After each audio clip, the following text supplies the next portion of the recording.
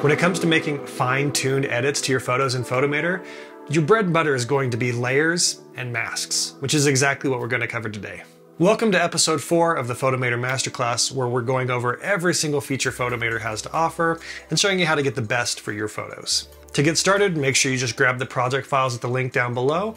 And if you haven't watched the previous episodes, you probably should, because we're just going to move forward assuming you know how some of the Reliant tools that we're going to be building on top of already work. All right, with that said, today's structure is going to be similar to last time.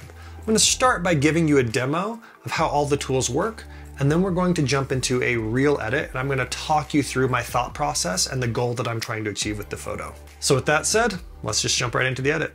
This is the part of the video where you just sit back, relax, and watch as I demonstrate what all these layers and masks do.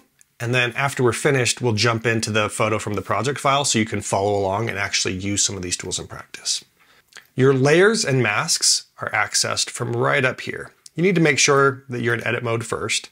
But once you're in edit mode, you can open this layer menu to view what every photo will have, which is a basic layer that everything is built on top of. From here, you have two options for adding new layers or new masks to your image. Now, the reason why I keep saying layers and masks, it's because this one is kind of a layer and these ones are masks. And in fact, I will go one further. This one stands out because it's a layer. These three are grouped because these are the AI powered masking tools. These three are grouped because these are the manual masking tools. And this one down here in the bottom on its own, honestly, I could see it categorized because it is also manual. It's a different kind of manual, if that makes sense. And I'm guessing that they left themselves some space to expand because there's other similar kinds of selections you might want to make. So, so I'm guessing they did it, but it's layer, AI powered, manual, and then a different kind of manual mask. So let's just start from the top. Adjustments I want to get out of the way because it is different from all the others. When you add adjustments, all it does is it gives you this nice clean slate on top of the edits you've already done.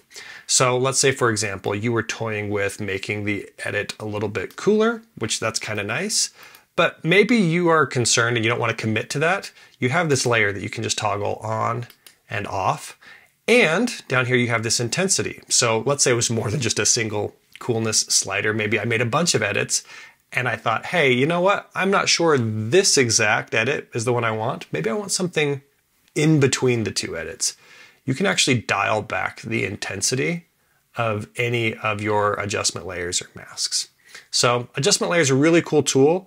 I don't use it as much, but it's really great if you're experimenting with different edits because you can isolate them to these individual layers and then use the intensity slider to combine them after the fact. So with that one unique outlier out of the way, let's jump into the AI powered masking tools. So the first is select subject.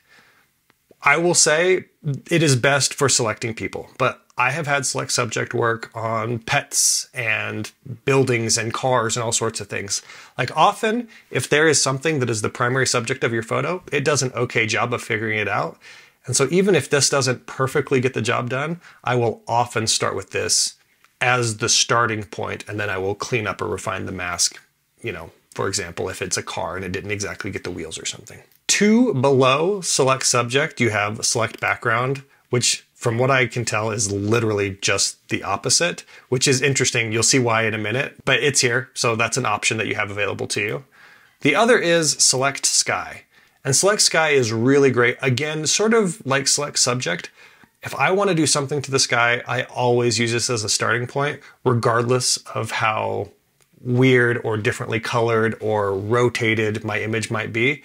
Because at a minimum, it gives me a good starting point. And you can see because of the depth of field and the way the light is coming through, it had a little hard time with the edge here. So in this case, I would select the sky as the starting point, make my edits, and then I would go through with another tool and clean up the edges, which I will show you how to do.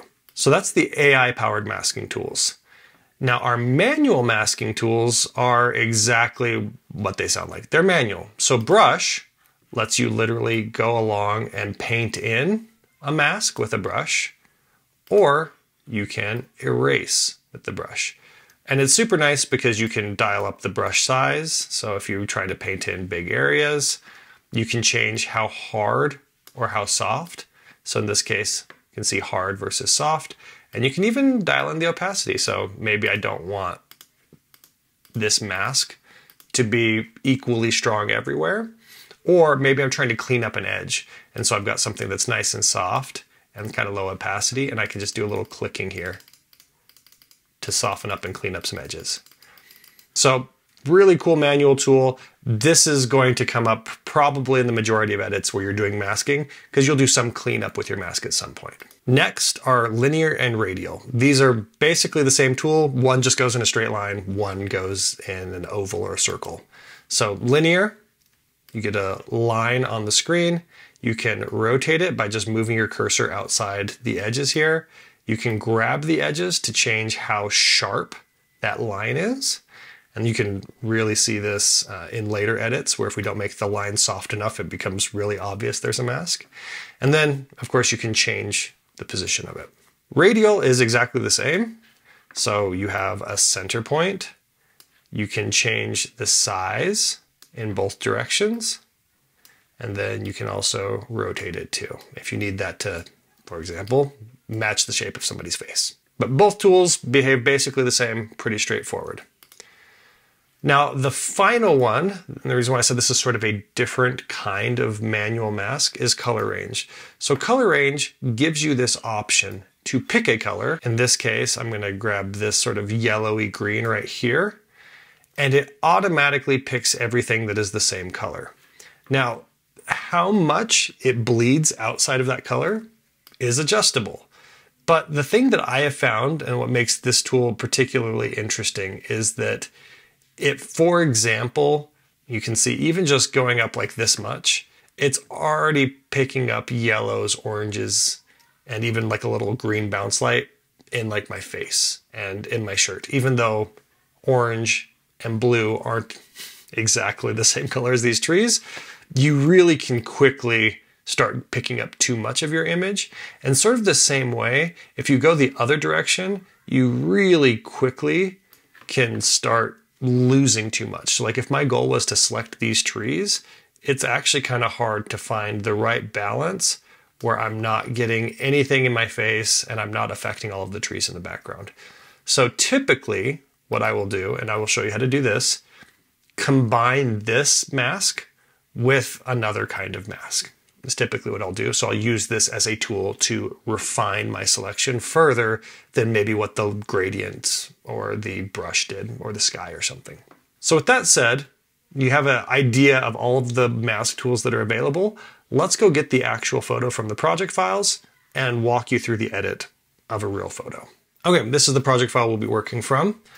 Once you get the image loaded, you might see this message if your display doesn't support HDR. Doesn't matter, you can just go ahead and close it.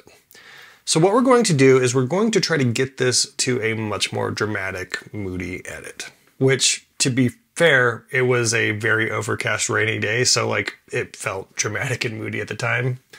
Uh, so let's see if we can mirror some of that. So let's start by opening the edit tools and we're just gonna do a basic adjustment with the white balance and the basic color adjustments. If you want to see how to do that, you can watch the previous video where we go into this in more detail. So I usually associate dramatic with cold and dark. So I'm going to do that. And I'm just going to, so I'm just going to darken this up actually quite a bit. Even dial up that black point.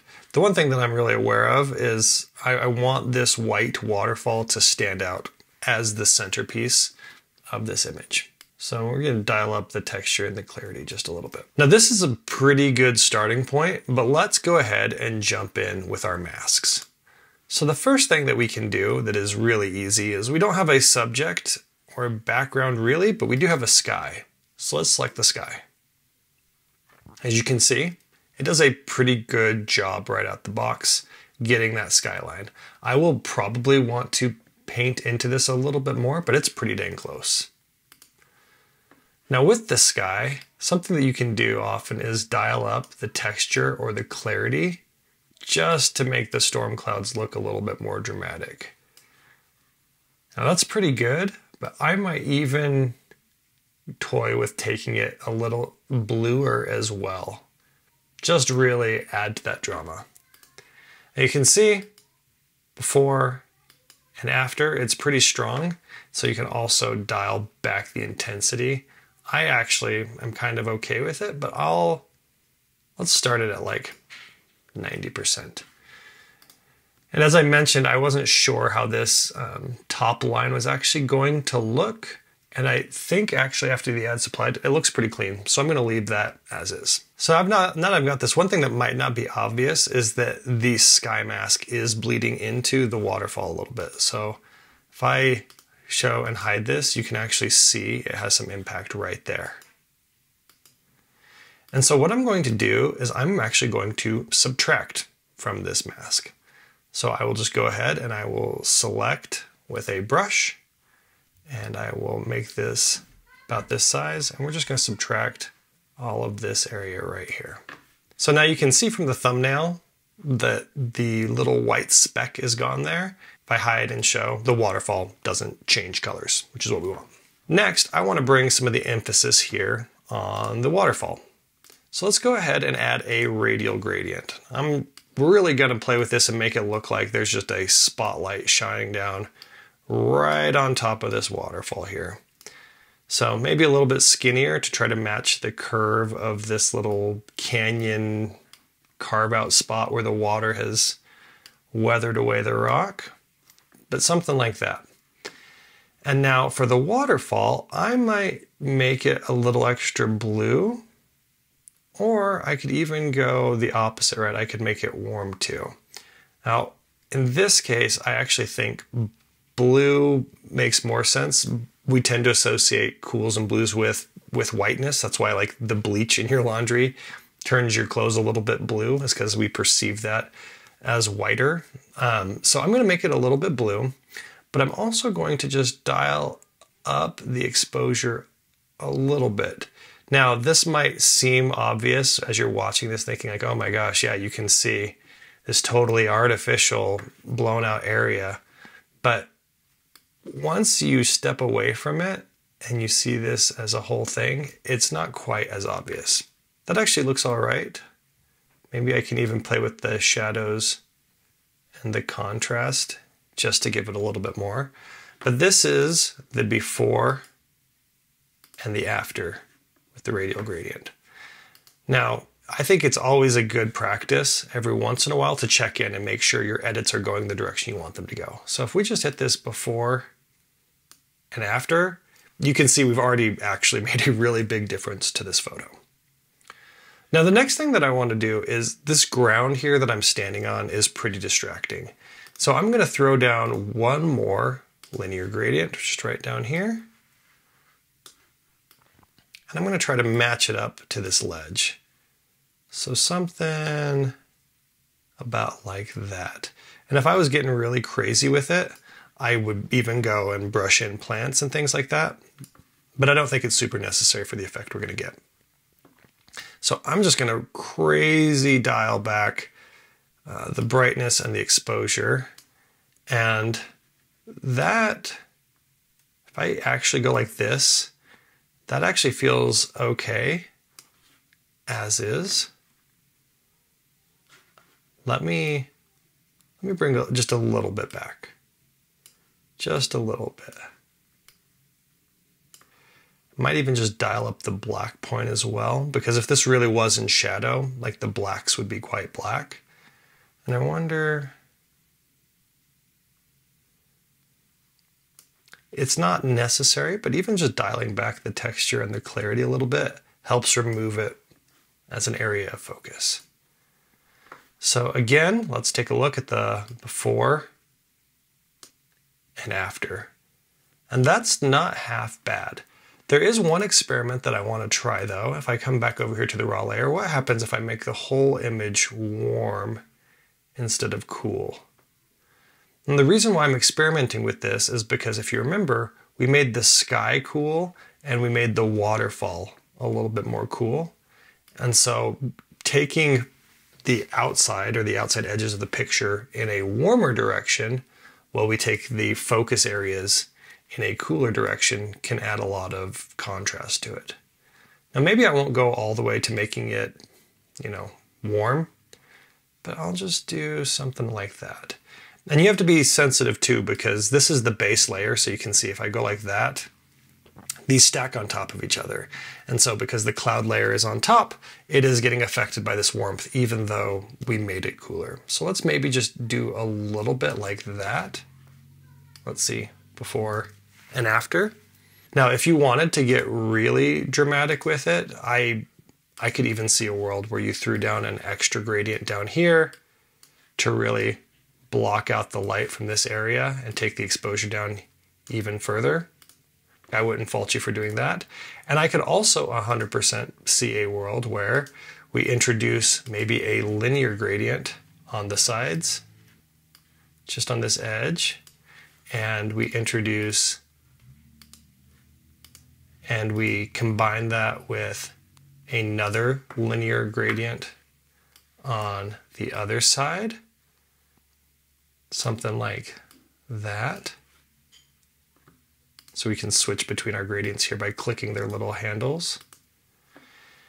And then using this new mask to dial back the sides as well. So you're creating almost a, a vignetting effect over here on the sides. And dialing up the black point and the contrast. Maybe that's too much contrast. But getting that black point. So I could totally see uh, doing something like that as well, although I don't think it's necessary. So let me show you. We have our layer stack here with our two linear gradients. I can collapse this so it looks like a single mask. But if I turn this on and off, like it definitely does help pull your eye towards the center of the pic picture.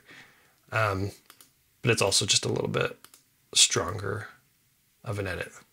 So I don't know. Tell me what you think in the comments below. I think I'm going to get rid of this radial gradient I don't think it needs it.